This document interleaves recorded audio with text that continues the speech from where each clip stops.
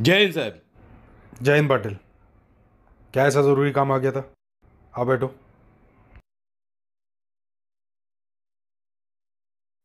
हाँ पाटिल बोलो।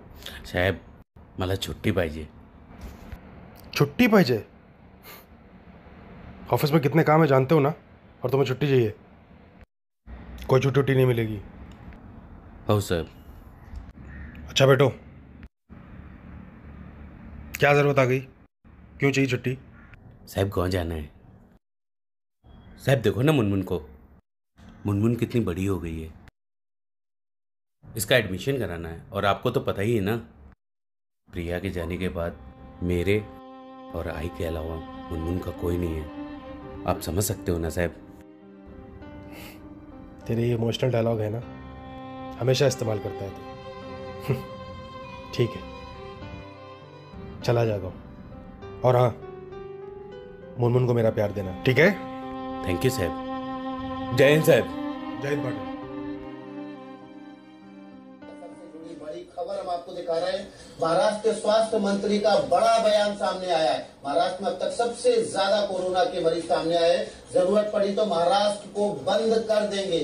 ये बयान आया महाराष्ट्र के स्वास्थ्य मंत्री राजेश टोपे का और कोरोना से कोरोना से जुड़ी ये बड़ी खबर महाराष्ट्र से आ रही है। महाराष्ट्र को बंद करने की बात कही गई। बड़ी खबर आपको बता दें जो स्वास्थ्य मंत्री कह रहे हैं महाराष्ट्र के कि ज़रूरत पड़ी तो लोकल भी बंद कर देंगे जो मुंबई की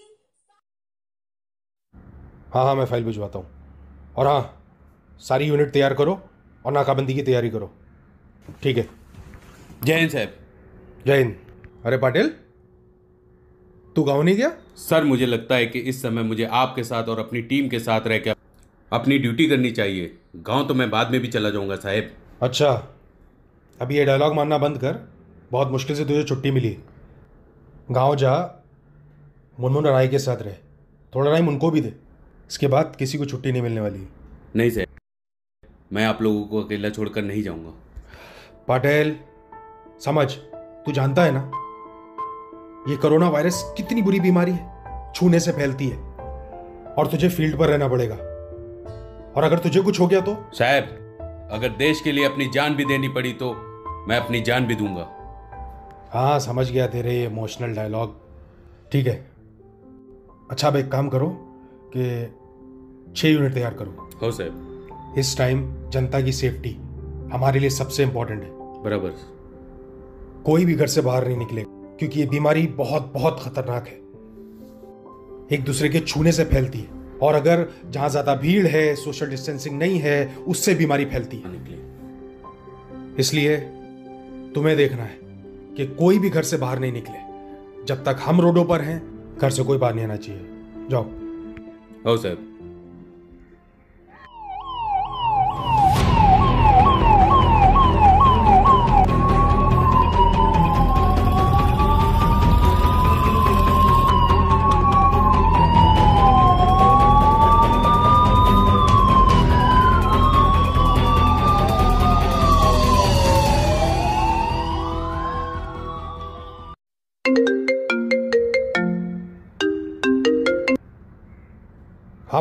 जय साहब साहब वो अपना अब्दुल है ना चाय वाला?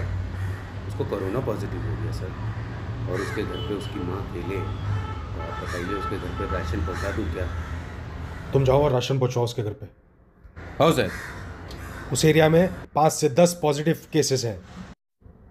या तो कोई लड़का भेजो और अगर तुम जा रहे हो तो हाथ में ग्लव्स मास्क पूरा प्रोटेक्शन लेकर जाना। आप चिंता मत करो साहब। मैंने ग्लव्स मास्क सब पहना हुआ है। फुल प्रोटेक्शन है साहब। आप टेंशन मत लो। जय हिंद साहब। जय हिंद।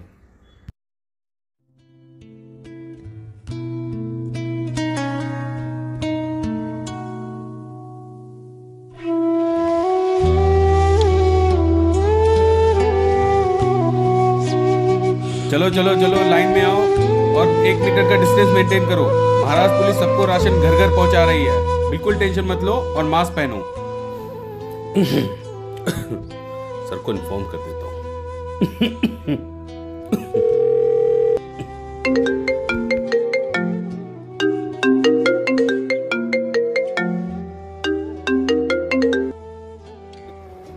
हिंद साहब। जय पाटिल क्या रिपोर्ट सर बस अभी ड्यूटी खत्म की है और राशन जहाँ बोला था वो सब पहुँचा दिया। वेरी गुड हाँ, और आप ठीक हो घर पहुँच गए सब घर पहुँच गया। पाटिल? हाँ तुम इतना खास क्यों रहो सब ठीक है ना? नहीं साहब सब ठीक है। वो डे नाइट ड्यूटी करके तो थो, तबीयत थोड़ी ठीक सी नहीं लग रही है। बाकी सब ठीक है साहब। तुमने डॉक्टर को दिखाया? टेंशन मत लो साहब। मेरे को कुछ नहीं होगा। मैं पूरा प्रिकॉशन के साथ यहाँ पर काम कर रहा हूँ। पाटिल तुम क्यों नहीं समझते हो? ये बीमारी छूने से फैलती है। और तुम दिन भर फ़ील्ड पर हो। कल सुबह तुम अपना कोविड का टेस्ट करा रहे हो समझे? आप टेंशन मत लो सर। मैं थोड़ा सोऊँगा थोड़ा आराम करूँगा ठीक हो जाऊँगा। आप भी तो डे नाइट ड्यूटी करते हो। पाटिल वो बात सही है। मैं मैं फ़ील्ड पर नहीं हूँ। तुम फ़ील्ड पर हो। तुम अपना कल कोविड का टेस्ट करा रहे हो समझे? ये मेरा ऑर्डर है। ओके साहब। आप चिंता मत करो कल मैं मैं अपना टेस्ट करा लूँगा। ओके जय हिंद साहब। ओके जय Hind.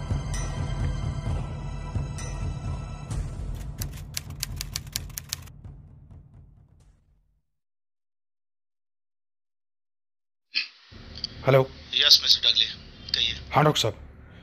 डॉक्टर साहब पाटिल कैसे है? वो अभी ठीक है मेडिसिन चालू है। कल उनका हम लोग सेकेंड टेस्ट करेंगे। डॉक्टर साहब पाटिल मेरे छोटे भाई जैसा है। प्लीज़ उसका ध्यान रखिएगा। हाँ आप बेफिक्र रहें पर वो थोड़ा घबराया हुआ है। वो घबराया हुआ है। लेकिन वो ठीक हो जाएगा ना? हम लोग पूरी कोशिश कर hope for the best thank god okay doctor साहब। डॉक्टर साहब मैं पाटिल से बात कर सकता हूँ क्या? यस यस यस फ़ोन उनका उनके पास ही है। अच्छा। आप फ़ोन कर लीजिए उनको। ठीक है ठीक है। मैं उसके नंबर पर कॉल लगा लेता हूँ। Thank you doctor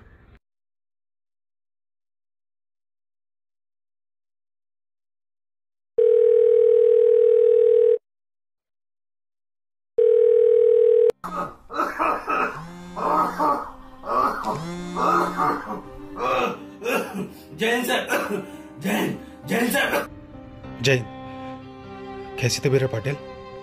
साहब साहब बहुत डर लग रहा है साहब। बहुत डर लग रहा है साहब। साहब बहुत डर लग रहा है साहब। पाटिल डरने वाली कोई बात नहीं है। मेरी अभी डॉक्टर साहब से बात हुई। वो कह रहे हैं पाटिल बहुत जल्दी ठीक हो जाएगा। साहब मुझसे वादा करो। साहब मुझसे वादा करो कि अगर मुझे कुछ हो जाता है तो आई और मुनमुन का आप रखोगे साहब। पाटिल ये सब बातें मत कर। तुझे कुछ नहीं होगा। पाटिल तू बहुत जल्द ठीक हो जाएगा। और तू जैसे ही ठीक हो जाएगा ना मैं और तुम साथ में आई और मुनमुन से मिलने गाँव जाएँगे।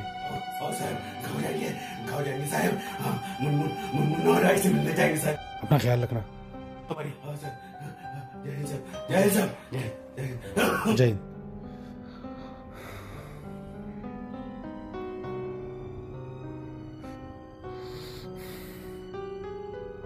चला।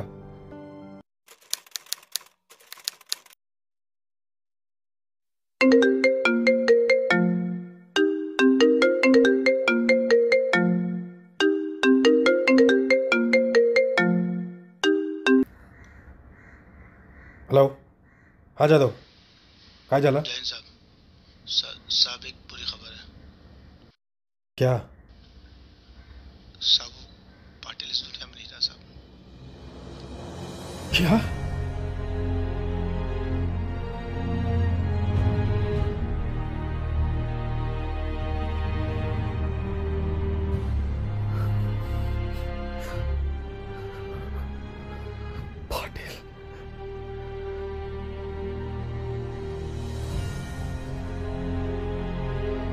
बड़ी हो गई है। और आपको तो पता ही है ना भैया के जाने के बाद मेरे और आई के अलावा मुनमुन का कोई नहीं। है सर जब तक महाराष्ट्र पुलिस है कोई भूखा नहीं सोएगा। कुछ हो जाता है तो भाई और मुनमुन का आप रखोगे सर अगर देश के लिए अपनी जान भी देनी पड़ी तो मैं अपनी जान भी दूँगा।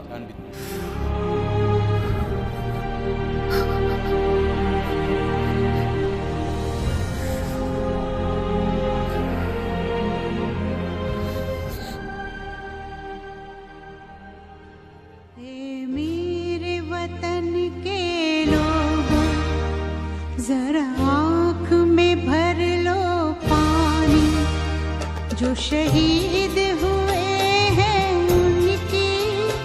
जरा याद करो कुर्बानी। मेरे वतन के लोग, जरा आँख में भर लो पानी। जो शहीद